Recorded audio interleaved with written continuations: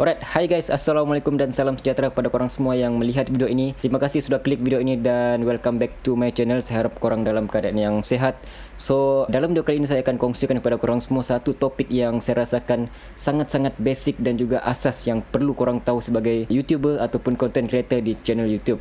Jadi saya akan kongsikan kepada korang semua apa itu 4000 jam masa tontonan dan juga macam mana kita nak tahu berapakah sudah jumlah masa tontonan yang kita perolehi dalam channel YouTube yang kita buat. Jadi kalau korang mau tahu, jangan lupa nonton video ini sampai habis.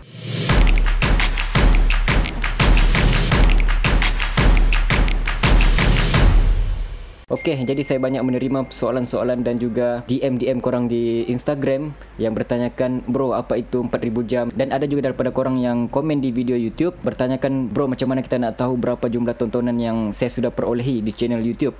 Dan apa itu 4000 jam masa tonton? Masih ramai daripada sahabat-sahabat kita di luar sana yang masih lagi belum jelas dan belum tahu apa itu 4000 jam masa tontonan ataupun 4000 jam watch time dan juga macam mana kita mahu tahu berapa sudah jumlah yang kita perolehi dalam channel YouTube kita. Okay guys, jadi seperti yang kita semua sedia maklum bahawa untuk menjadi YouTube partner program ataupun untuk melayakkan channel YouTube kita mendapat monetization dan masuk iklan dalam video-video yang kita hasilkan di channel YouTube, kita perlu memenuhi beberapa syarat yang dikehendaki oleh YouTube yang mana syarat tersebut kita sudah sedia maklum bahawa yang mana yang pertama korang perlu mempunyai minimum 1000 subscriber dan juga minimum 4000 jam masa tontonan. Jadi persoalannya apakah yang dimaksudkan dengan 4000 jam masa tontonan ataupun 4000 jam watch time. Jadi 4000 jam masa tontonan ni ramai juga yang salah faham. Bro, 4000 jam masa tontonan ni adakah 4000 jumlah views di video kita ataupun macam mana? Okey, 4000 jam masa tontonan ni sebenarnya bermaksud jumlah tontonan yang telah ditonton oleh subscriber ataupun viewer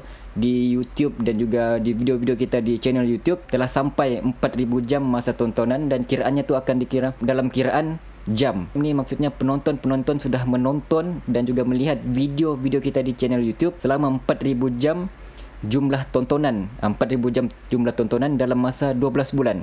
Barulah syarat tu akan lepas dan YouTube akan review kita punya channel untuk melayakkan mendapat monetization daripada YouTube dan juga AdSense. Jadi saya harap korang faham maksud 4000 jam masa tontonan di situ bukan bermaksud 4000 view tapi 4000 jam orang telah melihat video yang kita buat. Contoh kalau video tu berdurasi 10 minit, ah korang bayangkanlah berapa orang yang perlu nonton selama 10 minit tu untuk menjadikan 4000 jam masa tontonan. Jadi kalau korang harapkan satu video saja korang buat untuk mencapai 4000 jam masa tontonan memang sangat mustahil kalau korang YouTuber baru macam Bro Jeb. Ha, jadi korang perlu menghasilkan apa-apa saja video dan upload ke channel YouTube supaya jumlah masa tontonan tu semakin bertambah, semakin hari semakin bertambah. Jadi semakin korang upload video akan semakin bertambah korang punya masa tontonan. Okey, seterusnya macam mana kita nak tahu berapa sudah jumlah masa tontonan yang ada di channel YouTube kita dan channel YouTube korang lah. Jadi korang boleh cek berapa jumlah masa tontonan yang ada di channel YouTube kita dengan pelbagai cara korang boleh masuk ke YouTube Studio. Kalau korang buka di desktop ataupun PC, korang terus buka ke korang boleh buka juga dari smartphone, korang pergi browser. Jangan terus masuk aplikasi YouTube, tapi masuk pada browser dan klik YouTube dashboard ataupun uh, ataupun search YouTube desktop. So korang punya view di smartphone tu seakan-akan view di desktop. Jadi korang boleh masuk ke YouTube Studio dan sebagainya. Tapi kalau korang nak cepat dan hanya menggunakan smartphone saja untuk menjadi YouTuber, korang boleh try download dan install salah satu aplikasi yang sangat-sangat wajib korang uh, download dan juga install di smartphone yang korang buat sebagai YouTuber dan juga content creator yang mana aplikasi tersebut adalah YouTube Studio. Okey. Jadi kalau korang sudah ada aplikasi YouTube Studio dan mahu cek berapa sudah jumlah masa tontonan yang kita perolehi di channel YouTube, korang boleh masuk ke YouTube Studio dan kalau korang sudah install dan juga download YouTube Studio dan mahu cek berapa sudah jumlah masa tontonan yang korang perolehi di channel YouTube, korang klik pada tiga garisan di sebelah kiri dan masuk kepada analitik. Di bahagian analitik ada overview, ada revenue, ada discovery, ada audience, interactive content playlist dan kita hanya perlu uh, masuk kepada overview untuk kita cek berapa sudah jumlah masa tontonan yang kita perolehi di channel YouTube yang korang sudah buat. Dalam overview ada real time, ada watch time dan juga views dan sebagainya. Korang hanya perlu klik pada watch time dalam kurungan minit. Okey, kita klik.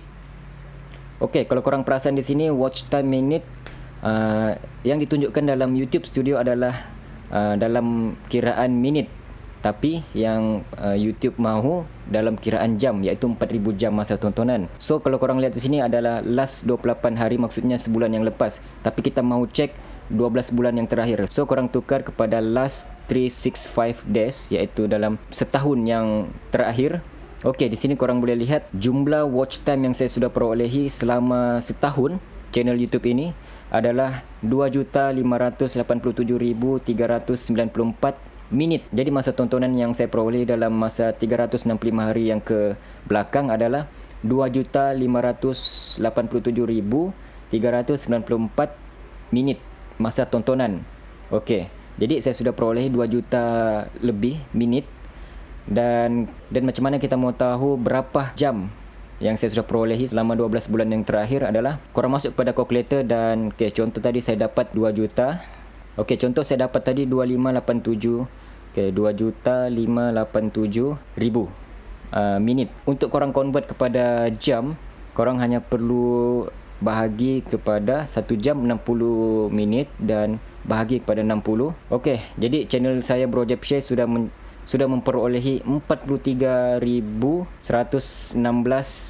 jam masa tontonan dan sudah lebihlah ber, berganda-ganda. Jadi korang boleh cek jumlah masa tontonan di sini daripada minit convert kepada jam. Ha, saya saya mendapat 2 juta minit dan mendapat 43,000 jam masa tontonan. Okey, berapa jumlah minimum dalam minit yang korang perlu perolehi untuk mencapai 4,000 jam masa tontonan. Jadi korang hanya perlu darab 4,000 jam darab 60. Okey, contoh 4,000 darab 60.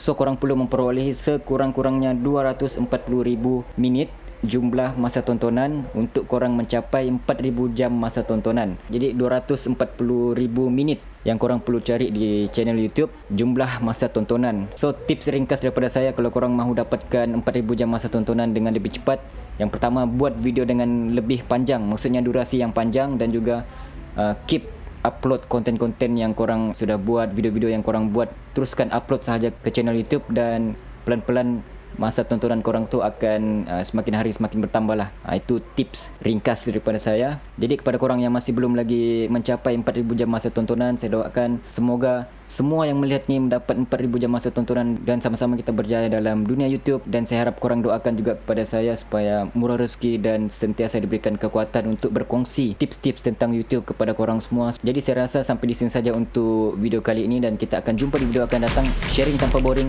Saya Jafar Arma. Assalamualaikum.